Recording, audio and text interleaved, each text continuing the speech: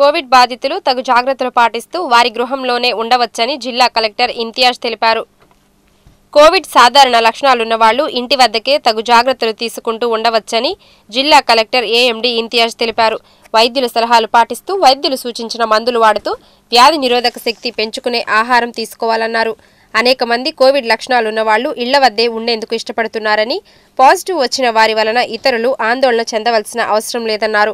తగు జాగ్రత్తలు పాటించటం ఆహారపు అలవాట్ల ద్వారా కరోనాను పారద్రోలవచ్చన్నారు.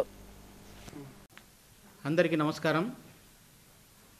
ఎవరైతే కరోనా పాజిటివ్గా నిర్ధారించబడతారో లేదా కరోనా లక్షణాలు కనిపించిన బాధితులు ఎవరైనా ఉండి వారు స్వీయ గృహం నిర్బంధంలో ఉంటూ ఇంట్లోనే చికిత్స తీసుకుంటామని చెప్పేసి వారు భావించినట్లయితే వారికి మార్గదర్శకాలు మరి ప్రభుత్వం జారీ చేయడం జరిగింది.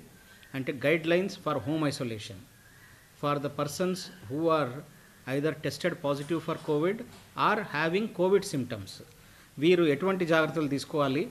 వాళ్ళు హోమ్ ఐసోలేషన్లో స్వీయ గృహ నిర్బంధంలో కనుక ఉన్నట్లయితే వాళ్ళు తీసుకోవాల్సిన జాగ్రత్తలు ఏంటి దీనికి ముఖ్యంగా మనకు ఎటువంటి ఆసుపత్రిలో చేరాల్సిన అవసరం లేకుండా పదిహేడు రోజుల పాటు ఇంట్లోనే ఉంటూ మనకు వైద్యుల సూచనలు జాగ్రత్తలతో మనకు వైరస్ నుంచి బయటపడవచ్చు. లక్షణాలు తీవ్రమైతేనే వైద్యుని సలహాలు తీసుకోవాలి డాక్టర్స్ సలహాలు తీసుకోవాలి. కానీ ఇలాంటి వారు ఇంట్లో ఉన్నప్పుడు తీసుకోవాల్సిన జాగ్రత్తలు ఏంటి? తీసుకోవాల్సిన మనకు కొన్ని గైడ్లైన్స్ ఏమున్నాయి దీంట్లో అనేవి ఒక్కసారి తెలుసుకుందాం. ముందుగా వారింట్లో చిన్నపిల్లలు కానీ పెద్దవారు కానీ వృద్ధులు కానీ ఇతర జబ్బులతో ఎవరితోనైనా బాధపడుతూ ఉంటే అలాంటి వారిని వేరే చోటికి చేర్చడం ఉత్తమం. వాళ్ళు ఇంట్లో మనకు పెట్టుకోకూడదు. అలాగే అత్యవసరమైతే టోల్ ఫ్రీ నంబర్కు మనకు ఫోన్ చేయాలి. One eight double zero five nine nine double four double five. ఇంట్లోనే వాళ్ళు ఏంటి ఏమేమి జాగ్రత్తలు తీసుకోవాలి? గాలి వెలుతురు మనకు ఎక్కువగా ఉండే గది. అంటే గాలి వెలుతురు ధారాళంగా వచ్చే గదితో పాటు వారికి ప్రత్యేక టాయిలెట్ ఉండాలి. అంటే సపరేట్ టాయిలెట్ ఉంటే మంచిది.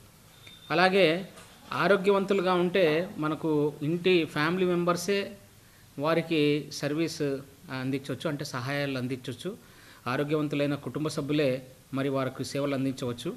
అలాగే వాళ్ళకు ఒకవేళ లేకుంటే మటుకు ఈ టోల్ ఫ్రీ నెంబర్ ఏదైతే చెప్పామో అటువంటి అసిస్టెన్స్ లేకపోతే సహాయకులు లేకపోతే టోల్ ఫ్రీ నెంబర్లో తెలియజేస్తే మనకు వారికి అసిస్టెన్స్ లభిస్తుంది. సెకండ్స్ కడుక్కోవాలి.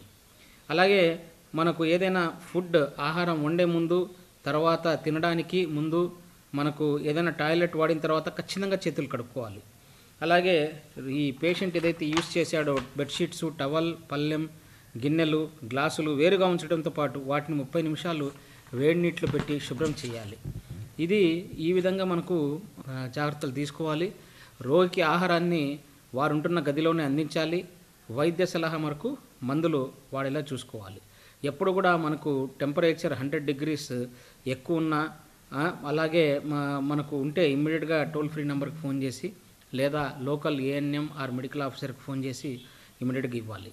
వెల్లుల్లి పసుపు ఇలాంటివన్నీ చేరిస్తే అవి వ్యాధి నిరోధక శక్తిని పెంచుతాయి. అలాగే మాంసాహారాన్ని తీసుకునేవారు వాటిని తాజా పదార్థాలతో నిల్వ ఉంచొద్దు. అలాగే స్కిన్లెస్ చికెను మనకు చేపలు గుడ్లు ఈ తెల్ల సోన దీంట్లో ప్రోటీన్ ఎక్కువ ఉంటుంది కాబట్టి అవి తీసుకోవడానికి ఎక్కువ ప్రాధాన్యం ఇవ్వాలి. అలాగే మనకు మైదా వేపుళ్ళు జంక్ ఫుడ్ తీసుకోవద్దు. కూల్ డ్రింక్స్ సాఫ్ట్ డ్రింక్స్ అవి తీసుకోవద్దు. కొబ్బరి పానీయాలు మన కొబ్బరి పామ్ ఆయిల్ బటర్ అవన్నీ కూడా తీసుకోవద్దు. లివర్ మనకు వేపి వేసిన మాంసం అసలు తీసుకోవద్దు. మాంసాహారం తినేవారు వీక్లీ ట్వైస్ కంటే ఎక్కువ తీసుకోవద్దు. సో ఎక్కువగా నిమ్మ బత్తాయి ఈ సి విటమిన్ తీసుకో సి విటమిన్ కావాలి. అలాగే అల్లం వెల్లుల్లి పసుపు ఇలాంటివన్నీ చేర్చి ఈ రోగ నిరోధక వ్యాధి నిరోధక శక్తిని పెంచే ఐటమ్స్ తీసుకుంటే మరి బాగుంటుంది. ఈ వార్తలు ఇంతటితో సమాప్తం. నమస్కారం.